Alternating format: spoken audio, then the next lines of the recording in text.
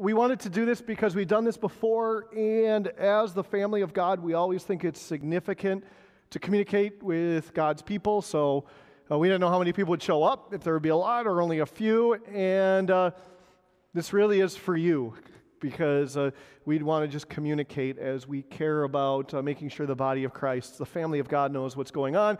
So there's just a couple of things. Each of these we're going to cover briefly.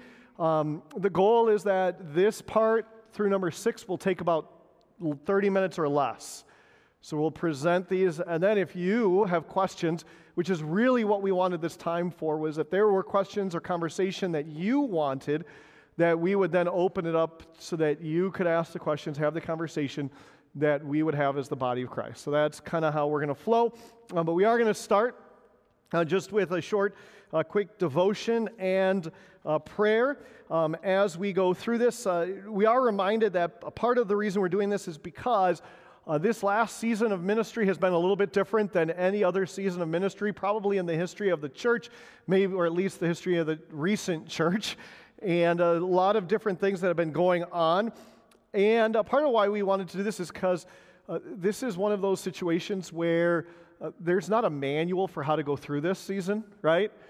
Um, you know, the pastors joke, and I'm, I know the, that with the teachers now, it's none of us took a class called uh, teaching in a pandemic or in pastoring during a pandemic or something like that.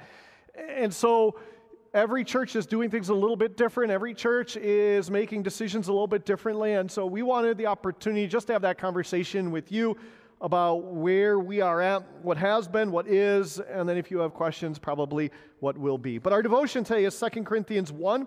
Uh, I just want to briefly read these words to you. It says this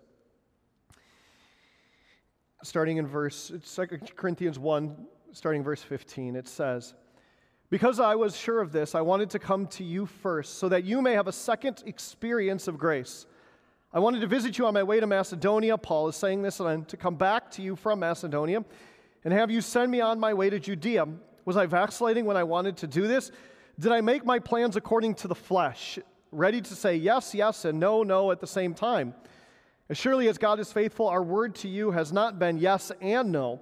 For the Son of God, Jesus Christ, whom we proclaimed among you, was not yes and no, but him it is always yes. For all of the promises of God find their yes in Jesus, and that is why it is through him that we utter our amen to God and to his glory. As I was thinking about going through this season, I was thinking about how much, uh, how easy it is to vacillate back and forth right? Constantly, uh, there's hope, there's no hope. Do this, don't do this. Uh, this is good, no, it's not anymore, right? Like this constant vacillating, yes and no, and yes and no, and yes and no. And, and I'm reading this section and going, you know what? Paul talked about this too, where he says, if we make plans according to the flesh, uh, we're ready to say yes and no and no and yes and back and forth and back and forth because according to the flesh, we don't always have the answers. And so we're always going, okay, now we know this, so we do this, and then we hear this, and, and it can seem like there's a back and forth vacillating, but, but Paul says, but if you find your answers in the promises of God, you will always be yes, for they are always firmly established in Jesus Christ. It's why whenever we make decisions or we talk about what the future is going to be like, our question ultimately comes back to what does it mean to faithfully follow Jesus? How do we faithfully follow Jesus? Because in Jesus, in his promises, yeses are yes and noes are noes, not in the world that goes back and forth.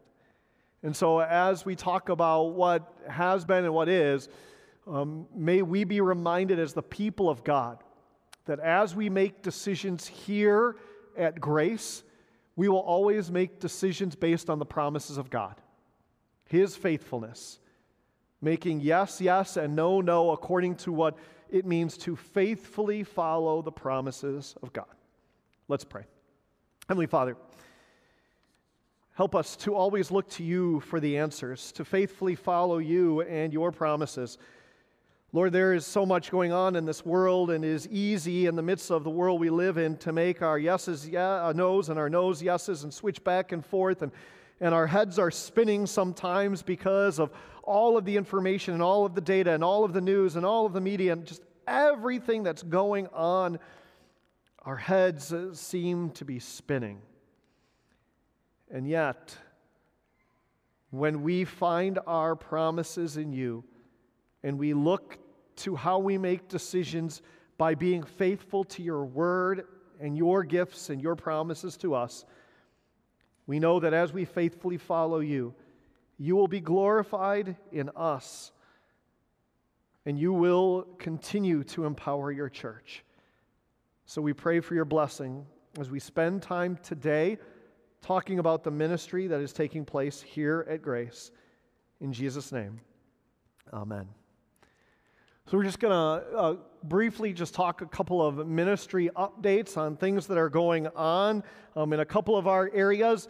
Uh, the reason these three are first is, is we have seen over this last season since March 15th, right? That's pretty much when all of this began, the, the lockdown. I still remember that week very vividly because I remember uh, it was Friday and Deb and I were talking, our principal, and we were saying, Hey, uh, what do you think about what's going to go on? And, and we said, You know what? No one else is, is uh, going to virtual, so let's stay in person. And an hour later, Menomonee Falls went virtual, and we're like, oh boy, all right. So we depend on busing. So that means that that completely changes our plans because of busing. And then, then uh, we're saying, all right, we're going to go virtual for two weeks. We'll be fine after two weeks.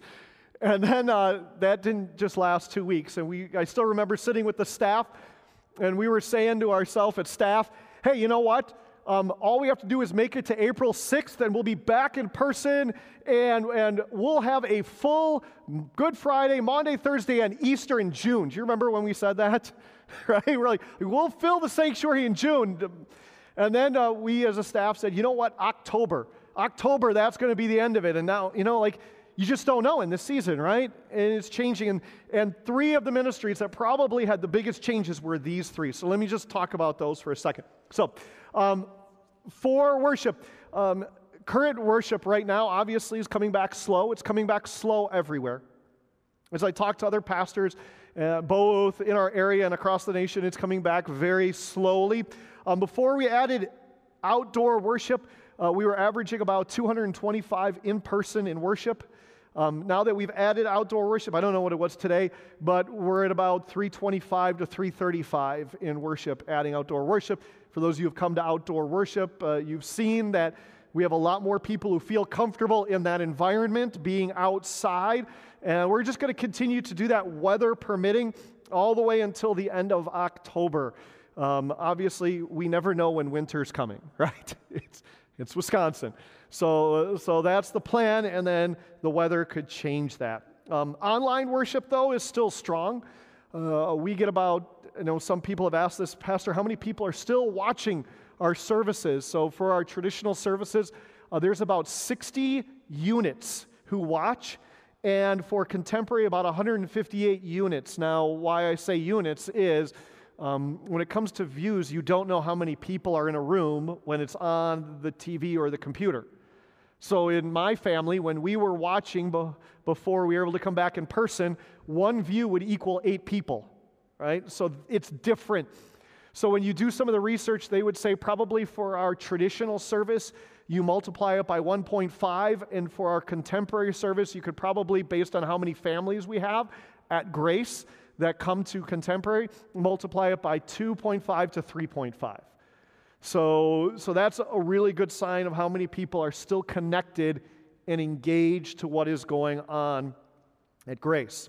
Um, right now, how online works is that we videotape our 5 o'clock service. Those who have been here have seen that. We put the, the camera right there in the middle, videotape it, and uh, then we have someone who uh, puts it together and stays up till about 2 o'clock in the morning making sure it gets uploaded. So we know that's a short term solution. That cannot be a long term solution because that just isn't healthy. So we're going to be doing some things that change it, I'll talk about in a minute. But we do have at this time, if you think about it, um, four different worship opportunities that take place. You have 5 o'clock contemporary in the sanctuary, 8 o'clock traditional in the sanctuary, 10 o'clock contemporary outside, and then you have the online. And that allows us to try to engage as many people as possible. Um, our Saturday night service, the reason that we need that uploaded on Saturday night is what we found is we did have two weeks, I believe it was, where we uploaded by Sunday night or Monday, and the number of people who watched it dropped in half. Because when do you go to worship usually? Sunday morning, right? So, so, and we've seen that, and in talking to other pastors, they've recognized that as well. So that's some of the struggle that, that we have. But we do have those worship opportunities um, for people to engage in it. And for our future, what we are working on is what we're calling an online worshiping community. Um, some people call it live streaming, but we don't want to just think about it as live streaming because live streaming can be like watching TV, a movie, or Netflix where you can turn it on and walk away, put it in the background, right? Well, Pastor, we watch it while we're doing things around the living room, right? Like we want people engaged. And so uh, we'll be doing it live. That's the goal, is to have it live. Um, but in order to do that, we're having to do some things here at Grace in order to make it possible because we can't live stream with what we have right now. So, first of all, our, our internet's not powerful enough to do that. So we're actually upgrading our internet uh, with a memorial that was given and is being allowed to use to upgrade internet. And then we're going to need to upgrade the equipment that we have because uh, the equipment we have basically doesn't help do anything with live streaming.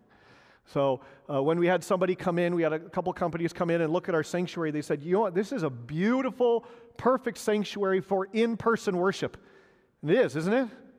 Mean, we are truly blessed with a beautiful sanctuary for in person worship. They said, but it is terribly set up for online worship. They said the amount of light that comes in, and some of you know that because there are days where you probably want sunglasses on while you're in the pews, right? And the amount of light that comes in, that um, the technology you have, and the fact that some of your technology now is old because uh, we moved in here in 2011, so we are approaching the ninth year in here, and how fast does technology get out of date? Real fast nowadays, right? And so, so there, are, there is going to be an expense to the te- technology. It, that actually is going to be the major investment. And I'm bringing that up because we're actually going to, as soon as we put it together, going to need to make a congregational appeal to ask uh, you as God's people to consider giving towards that it is an expensive endeavor. We're going to be using some of uh, restricted funds that were for worship and online worship that were given very early on in this. Uh, we're going to contact some families to ask if we can use memorials towards this because uh, this would be something that, that those who are homebound are able to use. And we actually have recognized that this online worship is actually going to be a great benefit to those who are are shut ins because they'll be able to actually live watch the services at home. The goal, as well as the reason we're calling it a community, is so that we can actually have somebody who is engaging people. There are actually platforms, believe it or not, that allow us to live stream our service while somebody is engaging people online who are watching it so that during the prayers they can type into something like a little chat box, What are your prayer requests? And people can put their prayer requests in. Or can, can say things like, hey, a pastor just asked you to people in the sanctuary to talk among themselves about this. What is your answer to that question? Right? And, and we can have engagement in community so that people are less likely to walk away. So, um, but we're looking through different things like that to, to be able to do this, but we are going to have to make a congregational appeal. Some of the other ways that it's a blessing is that if we have people who are sick at home, you can engage with it. Uh, if you're on vacation, you can be engaged with it. Uh, we'll be able to as well do weddings and funerals so that those can be viewed. So if you have a, if, your family has a wedding or a funeral here, but you have people who can't make it, we'll be able to stream that and give a link so that people could engage with that. That's the goal, but obviously the expense, so we'll be making a congregational appeal to try to make that possible. So, um, so that's worship. Uh, when it comes to school ministry, obviously there's been a lot going on with that. I, first of all, need to recognize, uh, and many of you do already, the amount of time, energy, and effort that those who are in our school ministry, uh, our extended care, our teachers, our principal, who have put into uh, making the school year possible, both last year and this year, because just like with worship, with our education, we basically went from not being able to do anything online to doing everything online like that. I mean, and that took a lot of time, energy, effort, and resources from our teachers and from our uh, staff that serves in our school ministry. And that, that was a huge blessing. So this year, uh, where we're at right now is our enrollment is at 214. So I know some of you, is that up or down? It is down, but I'll tell you why it's down. We have about 20 individuals, plus or minus a few, who have basically said, uh, We'll come back. We are coming back to grace once we feel safe, but until then, we're just going to do it in our homes. We're just going to do homeschooling. And so that's why that number is, and, and we are seeing that in a lot of places. It's, it's not just in our school, this is in public schools, it's in other Lutheran schools, it's everywhere where families are saying, you know what, we're just going to keep our kids at home, we're going to do homeschooling with them, and then when we feel it is safe to go back to school, we'll go back to school. But for uh, those who are enrolled at Grace, uh, we do have full, um, full five days, all day, every day, in person in the classrooms. We've done a lot of work. The teachers have done a lot of work to prepare their classrooms, to socially distance their desks, to create the environment possible so that families feel safe having their children come to school. So there's a lot that goes into that. Um, the policies that came into that, because I know a lot of people will say, well, how did the policies work? How did they come into play?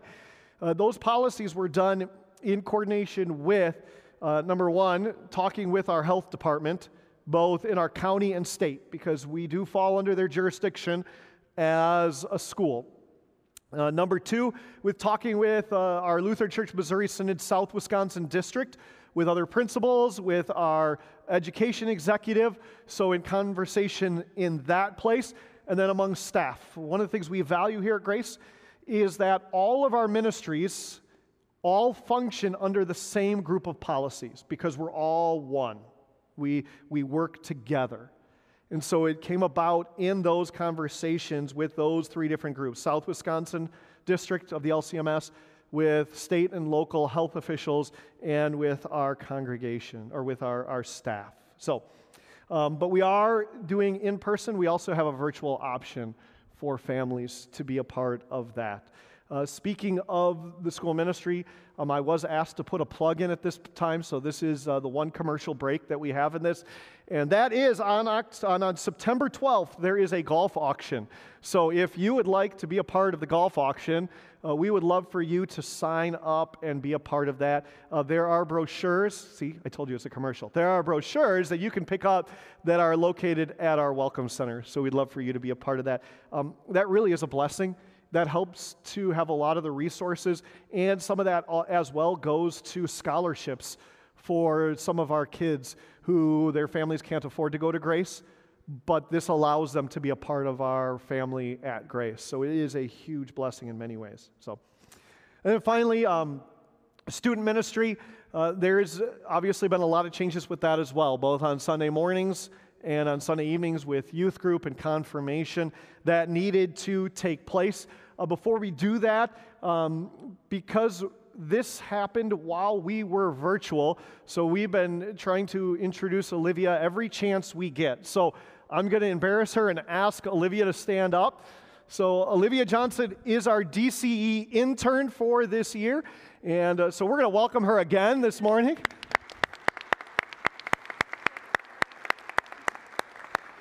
Uh, so, and she's going to serve in multiple different areas. So, she's uh, Christine Young is her supervisor. She's going to be working in some of our children and youth ministries. She's going to be working on a college ministry so we can have a ministry to our college age students. Uh, she's partnering with uh, Pastor Klatt to work on some adult Bible study opportunities and, and missions and women's Bible studies. So, so she has her hands in a lot of different things. So uh, we're just blessed to have her with us over this year. And yes, she does from, come from Concordia, Nebraska. So we now have more Concordia, Nebraska than Concordia, Mequon on staff. So, um, in, the, in the spring, there were a lot of online virtual opportunities, obviously because we had to. And Christine Young did a great job of making available on on a weekly basis children's and youth ministry for our families. Um, so, and that all was online, and we had opportunities for families to engage in that. Over the summer, we did Vacation Bible School, Generate High School Youth Leadership Retreat in person and virtual, so we had different options there. And now, coming into this new year, we're working on plans that will be released about how we're going to do both in person and some virtual ministry for our children and youth. But obviously, uh, there's a lot that goes into that as well, because it may sound like, well, just take the lesson and put it up online. There's a lot more that goes into that than just videotape and throw it up for, on, on the, the website or on the internet. I mean, same thing with doing virtual with our teachers. There's a lot more that goes into that, and it adds a greater complexity to it. So, uh, if you were just doing one or the other, that is still complex. It's just at least it's one or the other. Doing both adds a greater complexity to it. But uh, our staff has done an outstanding job putting both of those together. Um, in our adult ministries, uh, we continue to do things with our brown bag Bible study. Pastor Klatt continues to teach that, has both in person and then it's videotaped and put online. So whether you're in person or you want something in your home, you can have that. And one of the things that we have loved and we're going to continue to do is at 10 a.m. on Facebook, uh, we do a 10 a.m. five minute devotion every day except on Sundays. And uh, that what we've done with that is uh, Pastor Klatt has built that off the weekend message. So, whatever our weekend message is for that Sunday, Monday through Saturday will be a theme that is based off of the message. So it allows us to continue that message throughout the week, Sunday throughout the week. So um, that's been a huge blessing. Uh, MOPS, uh, Mothers of Preschool Students, uh, which our Deaconess Christiana oversees, has been meeting and doing some great ministry as well.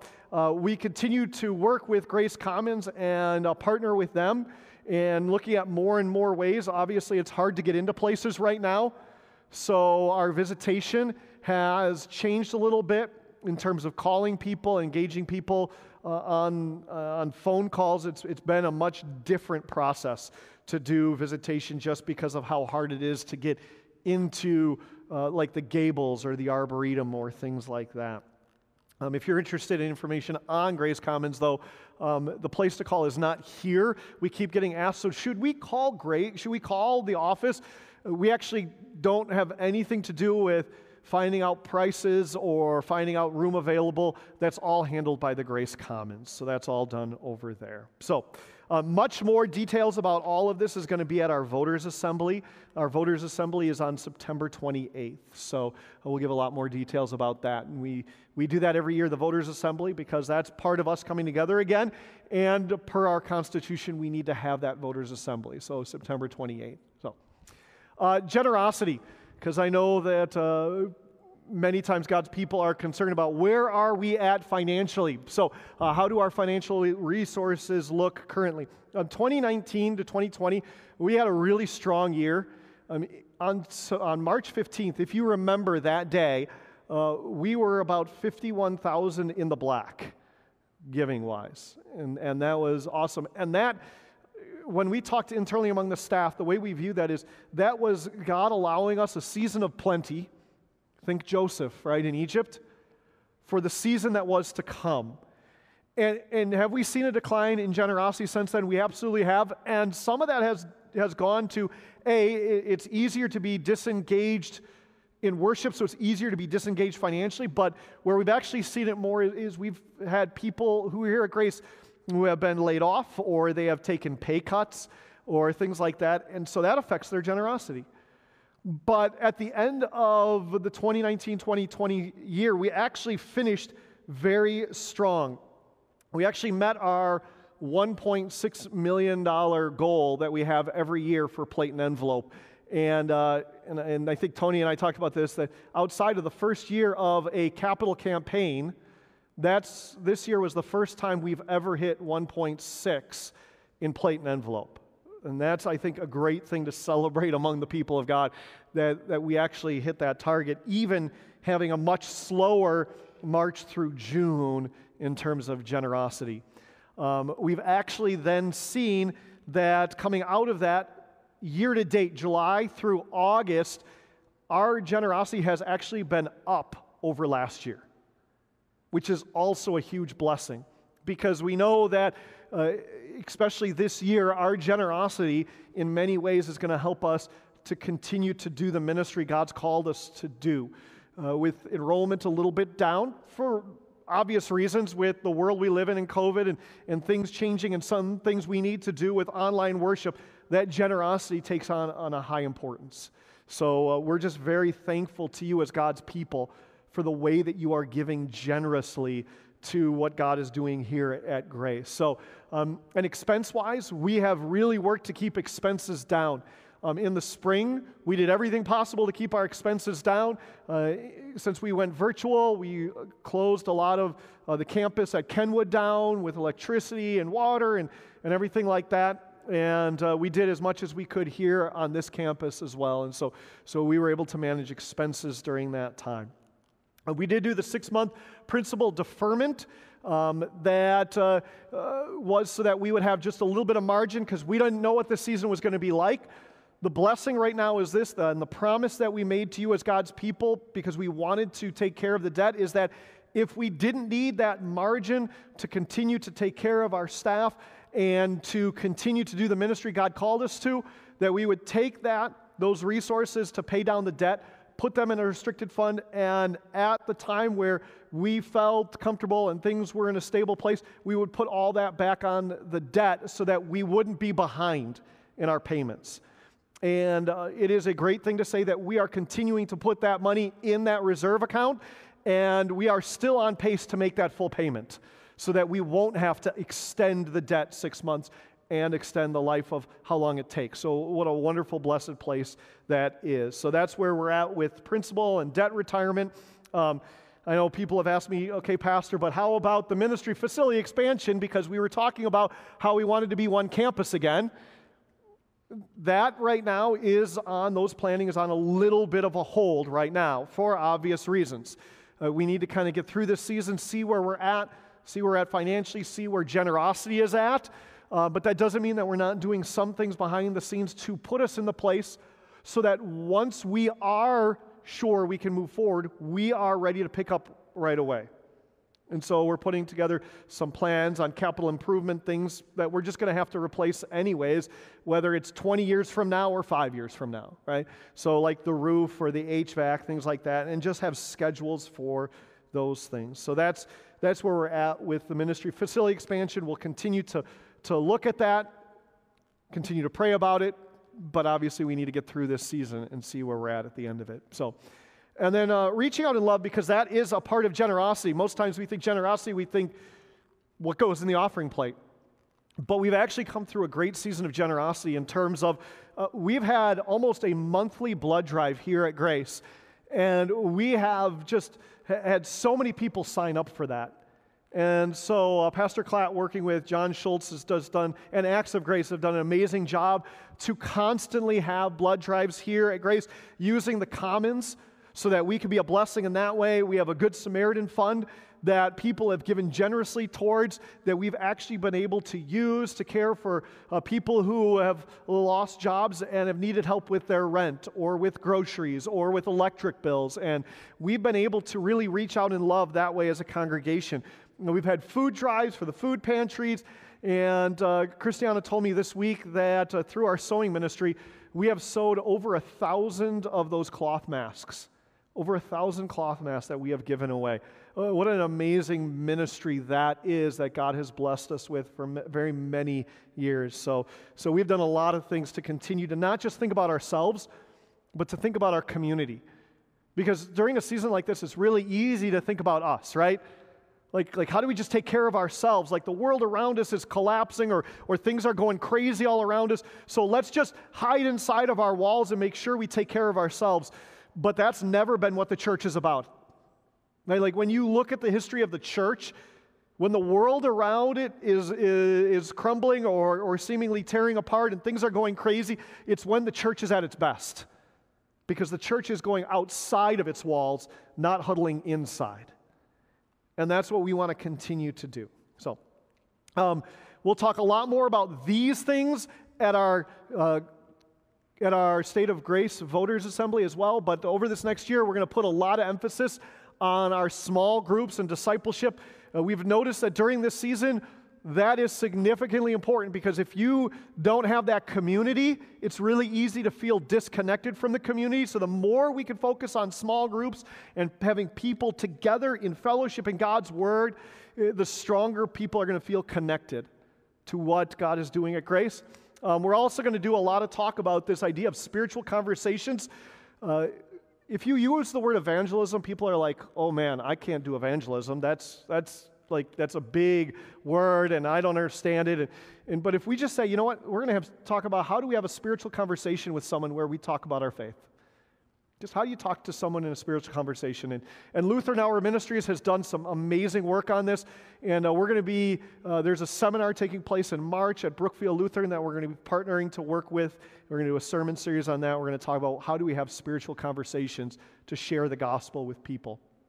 And then um, if you remember that uh, we were working through a process called Upward Onward, it was a strategic planning process. It included the facility expansion, and then March 15th and COVID hit, and that kind of came to a grinding halt. And uh, we're going to be picking that back up again, and we want you again to be a part of the process. So if you remember, our mission statement, Grace is a Family Growing in Christ, while reaching out in love came out of that. Now we're on the process of asking the question so, what does that look like in what are the ministries that are significantly important and the ministry opportunities are significantly important for grace to fulfill our mission statement? If that's really what we want to be, what should we be about? What should we be doing? Where, where should we be putting our resources and our time? And so uh, we're going to send out an email and invitations to you to be a part of this. Uh, there's going to be, what is it, one, two, three, four, five different opportunities for you to gather together for this. And we're going to offer those both in person and virtual. They're going to be, uh, it's a Wednesday, October 7th, a Thursday, October 8th, Saturday, October 10th, and Sunday, October 11th at 9.15 and 1 o'clock. And no, it is not a Packer game day, it's a bye week. So we did look at that ahead of time. So, so we wanted to have that. We're going to ask you to RSVP so we can group people together. And uh, then it's called a congregational creative event to really discuss grace as we look at what it's going to look like going forward. So, so there is obviously a lot going on and uh, a lot that we have planned for the future but uh, we just kind of wanted to give you a brief overview of a lot of what's been going on here. Obviously, a lot more going on behind the scenes, uh, but we wanted to share that with you and then open things up so that if you have questions about this, uh, you could ask your questions. Yeah, Bob. What do you mean by the ministry facility? Oh, the building. That's what you're talking about? Yeah, the facility, the building, yes. So at some point, we want to move the school ministry and expand our facility, our campus, so that we're one campus again. Anything else? Well, obviously, we'll be doing things that we'll be looking at all our needs. That's the upward onward process. So if during that process we discover that there's a need for more children's ministry space or small group Bible study space or for care ministry and counseling space or adult ministry space, then we'll be taking all those factors together as we come up with a full site master plan. And then the phases, because we won't be able to build it all at once, the different phases. Yeah, the gradual way in which we put it together. Other questions? Yeah. In the case of like funerals. Yeah.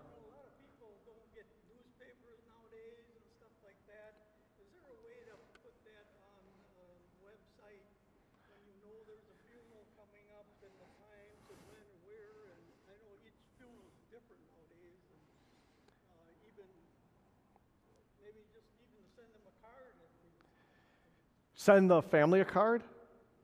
Oh, for people to know. Mm-hmm. Mm-hmm. Yeah. So, um, I mean, we could look at maybe putting that under a care ministry section or something like that on the website. But uh, but yeah, I mean, we put it in the Grace News so that if you get the email, the email always includes that. So we do have that ever, as a part of the emails. Because, or it should be, I think it is in the, I'd have to look, but I think we have that prayer section. Or if that's not part of it, we can look at that. But I know when it put up on the website too, if you look at the Grace News on the website or the one that you would pick up, that backside has the prayers, so they're usually in there. The only time they don't get in there is if that death happens after the printing of it or the putting together of it. So.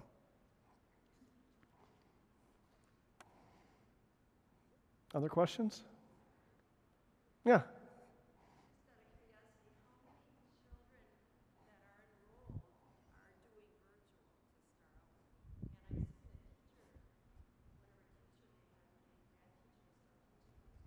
What was the last part? I didn't hear the last part.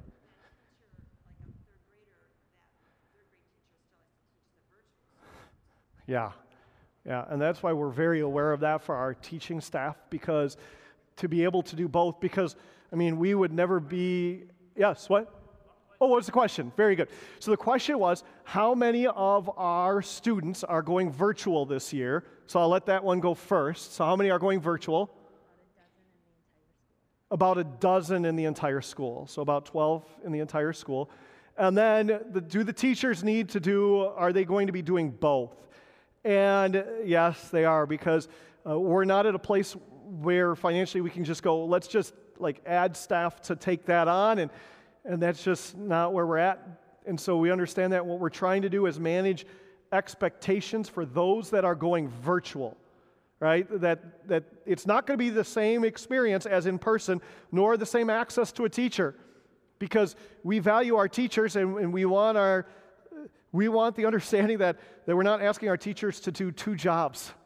And that's not fair, nor is it right, because we want to care greatly for our teachers and their families. Our, our teachers are our sons and daughters, they're moms and dads, they're you know they're husbands and wives. They're like like they have families. And so we value that family. And at grace one of our values is we're a family right and so we say at Grace that family always comes first, and so we want to make sure that we value that for our teachers. So it, it is, it's very delicate, it's, it's very complex right now, but we are going to continue to manage through that because we put a great emphasis on we want to take care of our teachers.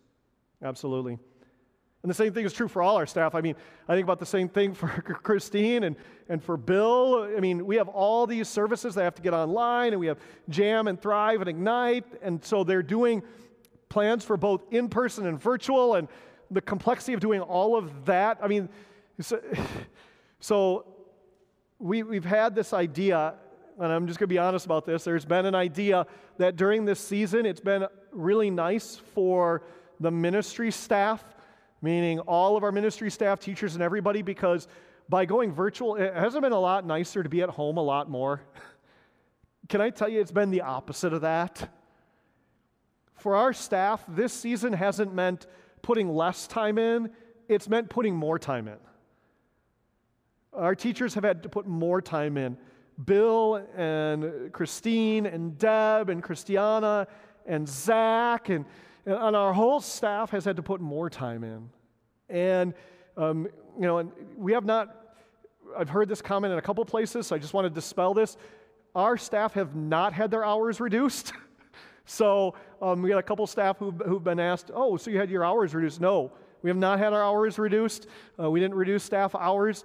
And, and so it, it's been more. And so praying for our staff is a huge blessing to us during a time like this because we've been asking them to do more because of all the complexity with this. And so, so we have to manage that tension, and it is difficult to do that. Other questions?